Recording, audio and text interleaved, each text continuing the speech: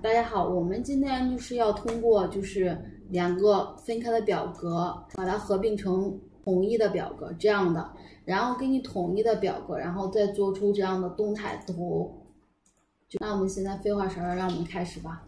那好吧，那我们先讲一下怎样快速合并表格。我们的目的是先想把表一，嗯和表二合并成像这样的形式。首先，我们按住 Alt D 加 P，然后我们选择多重合并计算数据区域，然后确定下一步，然后下一步，然后我们选择要合并的区域，然后添加，然后我们到。Sheet One 就表格一，然后我们再添加，然后添加以后，然后我们选择下一步，然后我们选择新的工作表格，然后我们完成，我们就看见我们这个表格现在已经合并了，然后有行标签，这是我们初赛城市，赛城市，然后还有就是得分。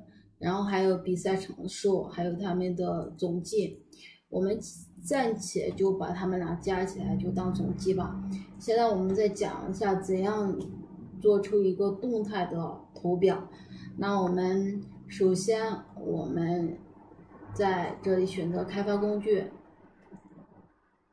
插入，然后我们选择设定设置控件格式。然后我们选一个单元格，选这个吧。然后我们回车，然后我们确定，然后我们让这个单元格变成个黄色的吧，这样看起来清楚一些。然后我们把它名字改了，改成得分，然后复制它，然后再改它名字，改成比赛场数。然后我们再复制一下。然后我们再粘贴，然后我们写成总计。好了，我们看，我们选择得分比赛总计的时候，这个数据是会变化。好我们把它拖到一行，OK。然后我们再复制这一行初赛城市，然后我们在这粘贴一下。然后我们希望就是。得分它能给个图表，比赛能给个图表，然后总计能给个图表。好了，那我们把城市初赛城市复制到这了，我们再写个 index 函数等于 index。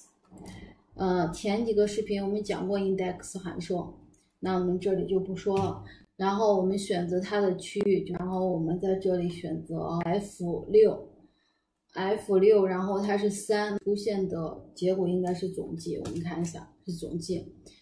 那我们应该把这个 F 六应该进行绝对引用，因为我们在往下拉的时候，我们不希望它有变化，所以我们绝对引用一下。然后我们就看这是总计，然后我们看得分，这就得分的数据，然后我们看比赛，这就是比赛的数据。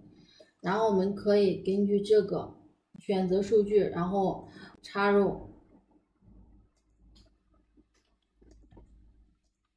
这个是冰状图，下面可以删掉，然后我们可以添加数数据标签，嗯，然后我们也可以就是数据标签格式，然后我们写类别，但是我们希望它有点颜色，填充一些，这个颜色太深了，看的不是特别清楚，我们淡一些。然后我们希望得分呀、总计呀、赛道呀放在这个图上。那我们可以右键，然后置于底层，然后我们选择它们，我们拖在这里。嗯，看着不好看，可以稍微调一下。好了，如果我们选择得分，就是得分的图表；我们选择比赛，就是比赛的图表；我们选择总计，就是总计的图表。嗯，那好吧，那今天就到这，谢谢大家。